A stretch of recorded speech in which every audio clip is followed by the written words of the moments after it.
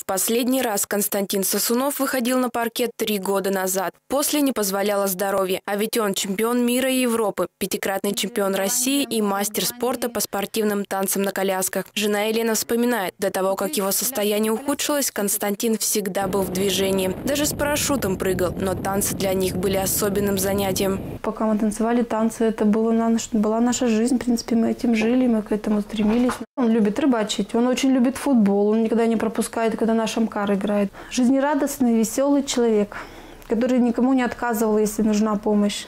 Но теперь нуждается сам в помощи серьезной.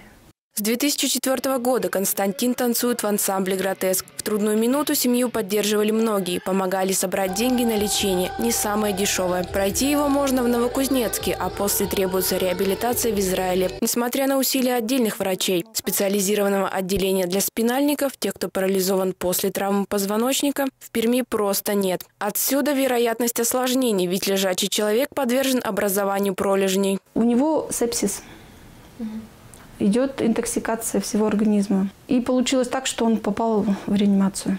Ему стало плохо резко, он, он не мог уже садиться, сам мы его сажали, он не мог переворачиваться, левая рука повисла, и боль была дикая в левой руке.